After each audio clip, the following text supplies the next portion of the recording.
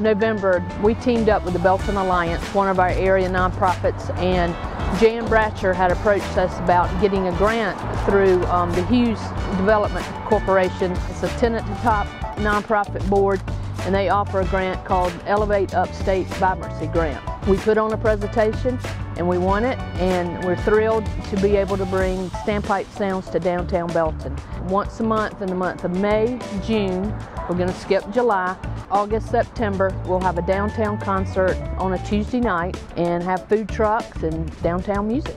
We started the series on May the 3rd with the Combo Kings playing, and the Combo Kings are led by David Jones, who owns the listening room back here. They kicked it off. We had two food trucks here. We had probably around 200 people show up. They were in and out because of, of our rec sports, but it was a great night. The weather couldn't have been better.